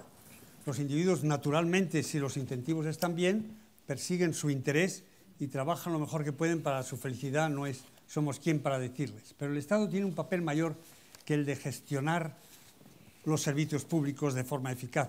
El Estado no existe. El Estado son los individuos puestos de acuerdo para determinados servicios. Y uno de esos servicios es el marco legislativo, el marco de incentivos y el marco institucional, que es deficiente en muchos países, especialmente eh, lo es en España. Y por lo tanto, no es decir, las familias, las empresas se ocupan de lo suyo, el Estado que sea barato, es cómo los ciudadanos nos ponemos de acuerdo para hacer un Estado que esté al servicio, que cree un marco en el cual nosotros los individuos podemos prosperar. Gracias. Sí, tenemos una pregunta al fondo. Les informo que somos trending topic en las redes sociales hace hora y media. Eh, gracias. Soy Carlos Salas de la información.com. Carlos Salas de la información.com. Uh, hello, good afternoon. Thank you, the three speakers, for the debate. Uh, Professor Krugman, I haven't read your book already, uh, and I don't know if you write about the following question. Uh, mm, we are living in a very difficult time in Europe, but I guess that in the United States you lived or you had similar problems 200 years ago. I would like to know if you have compared the history of the problems of the United States of America and the foundation of the dollar with the history of uh, the foundation of the European Union and the euro. Are there lessons we can learn about? Thank you. Ah, okay. Um, it's a big topic. It's a big topic. Um, quick answer. Um, the rules of economics change slowly, but they do change. And uh, all of the things that, that I'm writing about in this book, the, the, all, basically the business cycle issues. Uh, the business cycle is not, we have not always had business cycles. We probably had the first modern business cycle in, in Britain in the 1820s. We didn't, you didn't have recessions the way we do now. Uh, we, uh, uh, my uh, former colleague Peter Temin, the economic historian, said that we didn't really have a, a true recession in the United States, uh, although we there are official recessions. We didn't have anything that felt like a modern recession probably until the 1870s. So the, when the dollar was formed, when the U.S. became a monetary union, we were an agrarian society with, uh, with, uh, with no large-scale industry and not even that much small-scale industry. It just wasn't, it just wasn't a useful, it isn't a useful comparison. Uh, so I, I, don't think it's, it's, it's terribly enlightening. Uh, much, much, as I would like. I'm, I'm, a great admirer of Alexander Hamilton, who created the, the modern, uh, you know, created the, the, in a lot of ways, the foundation for the, for the U.S. government, but, but the world he lived in. Uh, much as I like to talk about history, the world, the world of 1789, which is when we really, really created the United States, uh, was, was not very much like the world of, of 2012. aquí. Enrique Alberola, um, thank you for, for this presentation. And I admire much of your work and much of your opinion. So don't take my question as an accusation or a criticism, just more rather a philosophical question. Uh, you probably agree that this is basically a crisis or also a crisis of confidence. And you belong to this bunch of very influential economists which shape the confidence of the, of the market. You are not a price taker of the, in the market of ideas or sentiment. Right. You shape confidence too. And most of you are permanently gloomy and negative by anything, any policy reaction. You find them uh, inadequate, too slow, too timid, and in the end, you are being really honest in academic terms because you are purists. But sometimes I feel that you don't take into account the restraints or the constraints of the real world and the political process. And in the end, what you do is basically affect negatively to the sentiment. So my question is whether somehow, how do you feel about it? Right. Do you have a sense of responsibility in that sense, or what's your view on that? Okay. So I actually don't agree that we have primarily a crisis of confidence. I think there is a, there is a certainly a, there are some, some, some issues of self-fulfilling panic, but I think those are not actually central right now. I think actually, for the most part, we have a, a, real, uh, a real problem of excessive leverage, an overhang of debt. These are the things that are the, are the core. Um, and so happy thoughts don't solve that. Uh, you need actual policies to solve that. Uh, there is, um, uh, I, I worry about, about the issue you describe. Uh, the, uh, I, being honest is, is, is, is what I'm there for. Certainly I have readers uh, who are expecting me to, to tell the truth as best I can. Um, and I don't think that there's any problem with doing that now. Um, if we get into a state of acute crisis, uh, at what point, the famous line uh, by, by Justice Brandeis in the United States, which, who said that the right of of free speech does not include the right to yell fire in a crowded theater. Right? Uh, to create a panic is not acceptable, and, and, and, uh, and does there come a point where, where you have to muzzle yourself? And uh, I worry about that, and I'll try to, to see if I, if I see that happening. But so, this, for the past, certainly in Europe, for the past several years, um, what we've had is um, a parade of, of prominent, influential figures claiming that everything is all right. Uh, every assurance from, uh, from, from the ECB and from the, uh, from the European Commission and that, that everything is on track and it's inconceivable that Greece will default on its debts. Um, you know, which has done more damage, my gloominess or their uh, ridiculous optimism? I think so far, so far pessimism has been, uh, has been more has been more socially responsible as well as being more realistic. Estamos ya agotando casi el tiempo disponible para el debate. Tenemos dos preguntas solicitadas aquí y aquí.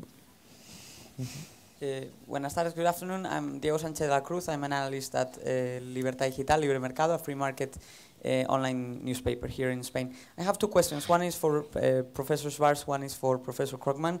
the one for Professor Krugman, there, there was an article back in the year 2002 when you urged the Federal Reserve to create a housing bubble to replace the, um, te the tech bubble, the, the, the NASDAQ bubble.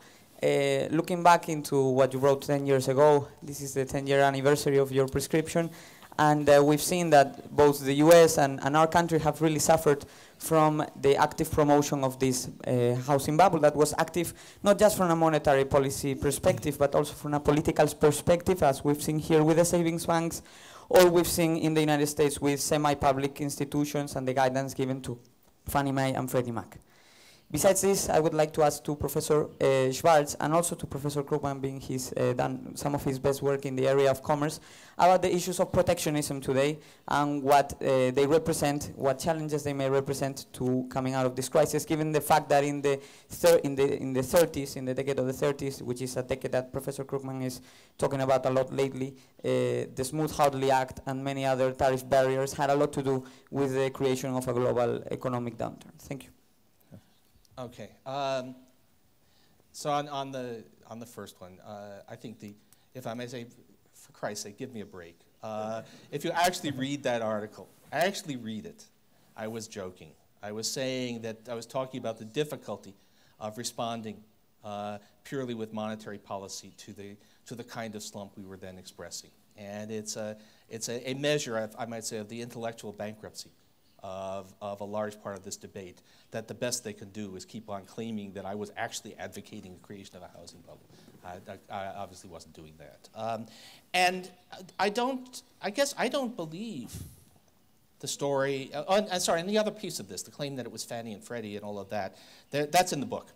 So I read the book and discover that it, it's, it's, it is, I, I call, uh, as I say, it, it, it is actually, the, and this is not my phrase, uh, as Barry Ritholtz was a very apolitical uh, analyst, uh, but, but he says that's the big lie of, of, of U.S. Uh, economic debate. It, it's just not true. It's not what happened. So, so uh, leave it at that. Um, a word about protectionism. Yeah, I mean, I still am a, a big defender of, of open world markets because uh, not out of some religious faith in free trade, but because it's terribly important, especially for, for the world's poor countries, that they have access to, to open world markets. Um, protectionism has been one of the that's been the dog that did not bark.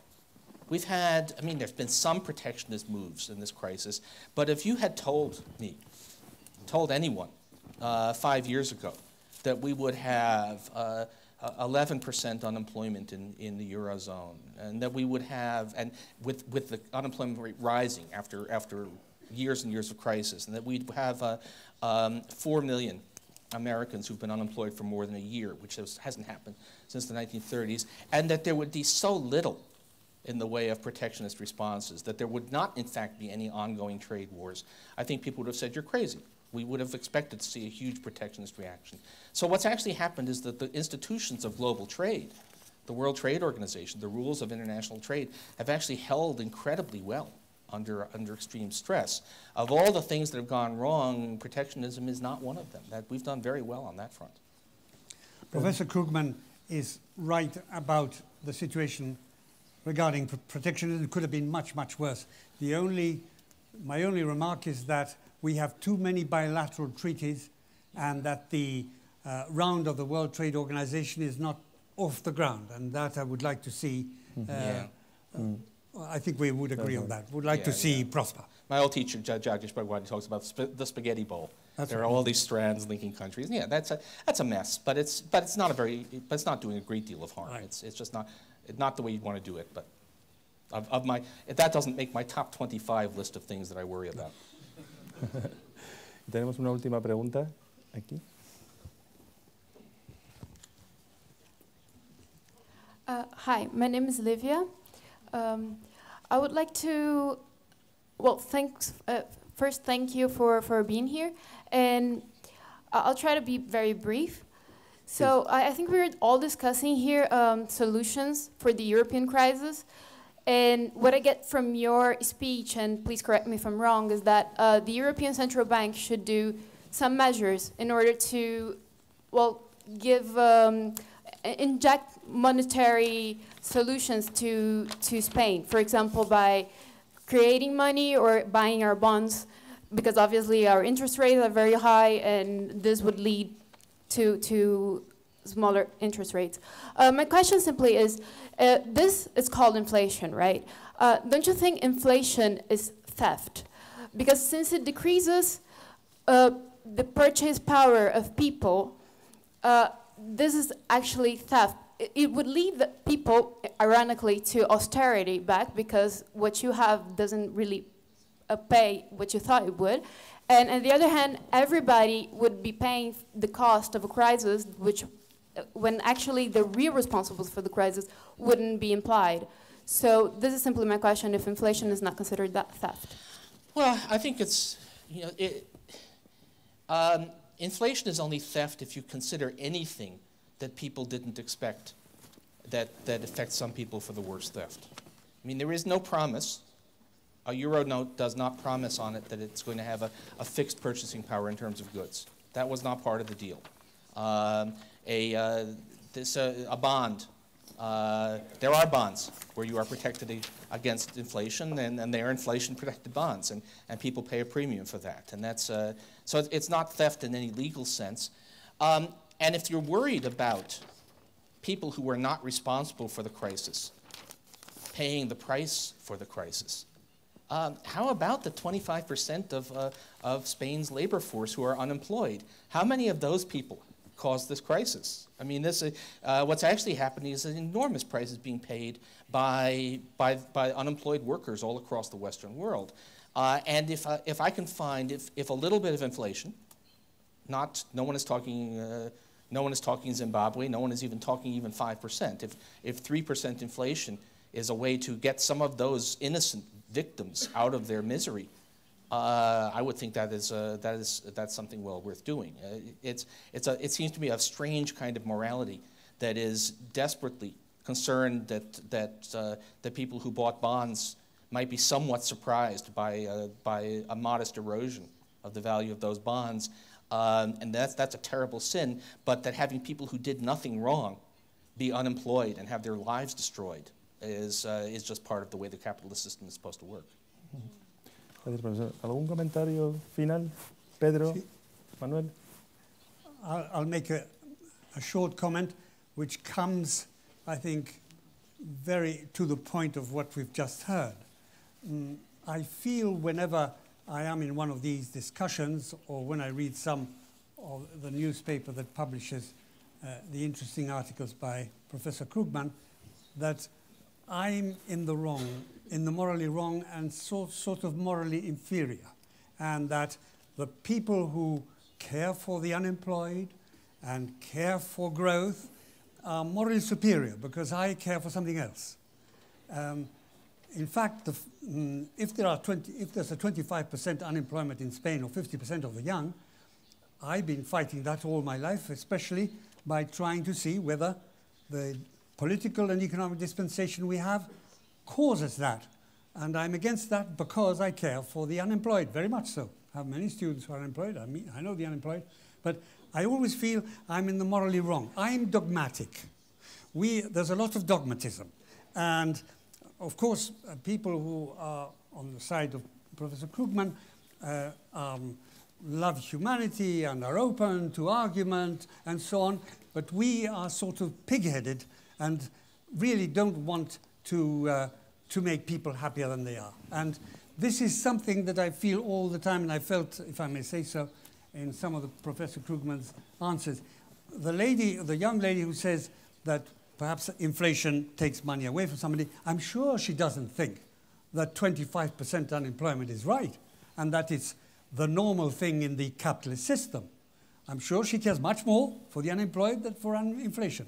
That kind of answer puts us on the wrong foot. This is the, uh, what I was going to say. I'm, I'm, i want to end by saying I feel privileged to have this discussion, and I'm happy that we were all able to put our ideas forward, and I hope the next time um, the tables are not turned on me by saying I'm the dog dogmatic person who really is not quite, quite all right, doesn't really care for all those unemployed.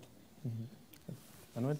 Well, in, in, closing on my side, I would like to praise Mr. Krugman's courage because he's, he's uh, willing to espouse openly his views, uh, particularly in the States where, where pundits and Republicans are very strong and they criticize him regularly. And I, I don't know whether uh, Donald Rumsfeld, the former Secretary of Defense of the US, is one of his favorite authors. I don't think he is but uh, you, you, you, may want to read his exactly. autobiography because there is a line which, which applies pretty well to you, which says, if you are not criticized, you may not be doing your job well. That's right. Okay. Um, I agree with that. That is yeah, definitely true. We Actually, all agree.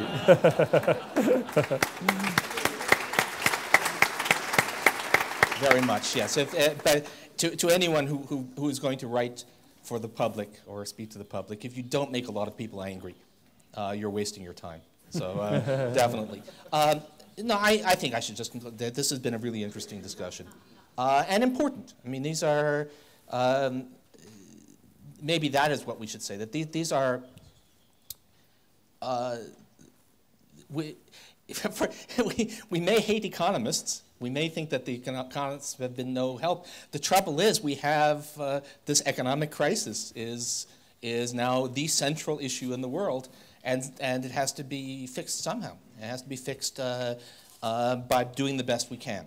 And I'm trying to give you what I think are, are the, my best shot at the right answers. Uh, I assume that everyone else is doing the same. Um, and I'd just like to, to say thank you for, uh, thank, thanks to the foundation for this great forum to talk about them. Mm-hmm. Uh, and uh, and uh, may, may the right ideas prevail. Um, which means me, but anyway, may, may the right ideas One final question. How, how is your book selling in Germany? Yeah. I don't think we have a German edition yet. well, you have to worry, uh, they're, they're trying to rearrange it because it's, it's very difficult editing because all of the verbs have to come in the last 10 pages. So, no, anyway, sorry. So we don't, I don't have a German edition yet. Muy bien, pues muchas gracias a todos. Hemos excedido con creces el tiempo disponible. Y eso sí.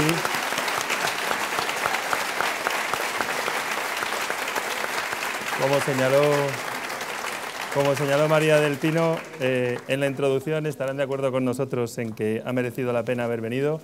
La verdad es que se han quedado muchas preguntas sin responder. Pedimos disculpas porque no ha sido posible. Algunas tan sumamente elaboradas como esta que quiero destacar y que quiero entregarle al profesor Krugman porque realmente, eh, para que vea que nuestros invitados vienen con, eh, el trabajo hecho. Eh, y por otra parte, simplemente señalarles como datos que oh, en este momento la cifra de personas siguiéndonos vía Twitter está en 733.282 personas y todavía quedan los retweets correspondientes que nos han seguido en directo, profesor, 800 personas a través de la FRPTV. Y que, por supuesto, eh, eh, ello responde al nivel que eh, se ha desarrollado en este debate por nuestros tres invitados. Muchas gracias a los tres y esperamos tenerles de nuevo pronto en la casa, pero esta vez para presentar el nuevo libro del profesor Krugman, que debe llamarse De cómo fuimos capaces de recuperar entre todos la senda de la prosperidad. ¿Qué le parece? Thank you all. Thank you.